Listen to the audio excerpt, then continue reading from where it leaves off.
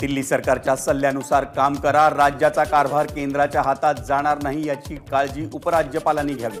सर्वोच्च न्यायालयाचा दिल्ली सरकारच्या बाजूने निर्णय. सुप्रीम कोर्टाच्या निर्णयानंतर दिल्लीचे मुख्यमंत्री अरविंद केजरीवाल यांचं ट्विट दिल्लीतील जनतेसोबत न्याय करणाऱ्या सुप्रीम कोर्टाचे आभार. लोकशाहीचा विजय केजरीवालांचं ट्विट. राष्ट्रवादी प्रदेशाध्यक्ष जयंत पाटील यांना ईडीची नोटीस परंतु गुरुवारी चौकशीला जाणार नाही. घरात लग्न समारंभ असल्यानं मुदत वाढवून मागितल्याची जयंत पाटलांची माहिती. आयल आणि एफ एस प्रकरणी पाठवली आहे नोटीस. जयंत पाटलांना आलेल्या ईडीच्या नोटिसीवर राऊतांचा बोलण्यास नकार राष्ट्रवादीत भरपूर वाघ आहेत ते यावर बोलतील. संजय राऊतांचा टोला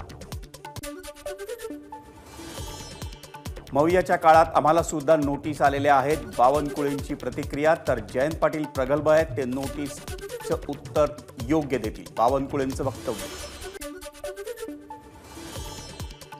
ईडी घटनात्मक संस्था आहे. तक्रारीनंतरच त्यांनी नोटीस पाठवली असेल. जयंत पाटलांना आलेल्या ईडीच्या नोटिशीवर प्रवीण दरेकरांची प्रतिक्रिया. सत्ता संघर्षाच्या निकालावेळी जयंत पाटलांना आलेली ईडीची नोटीस हा केवळ योगायोग उदय सामंतांचं वक्तव्य.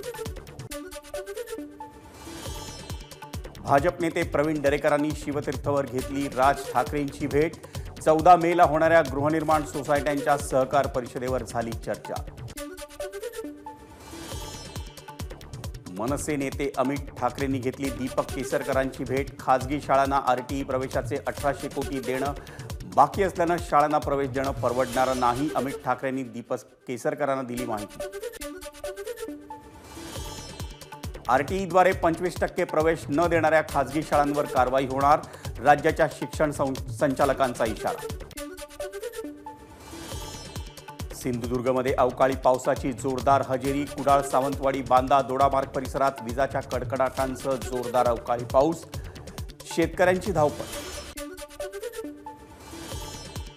देशातील बहुतांश भागात कडक उन्हाच्या झळा. तापमानात सुमारे नऊ अंश सेल्सिअसनं वाढ. सतरा राज्यांमध्ये तापमानात मोठी वाढ होणार हवामान विभागाचा अंदाज. महाराष्ट्रातल्या अकोल्यामध्ये सर्वाधिक त्रेचाळीस पूर्णांक पाच अंश सेल्सिअस इतक्या कमाल तापमानाची नोंद.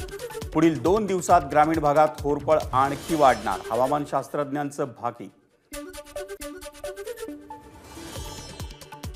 कर्नाटक विधानसभेचा निकाल तेरा मे रोजी. निकालापूर्वी मुख्यमंत्री बसवराज बोम्मईंनी बेळगावातील रेणुका मंदिरात दर्शन घेतलं.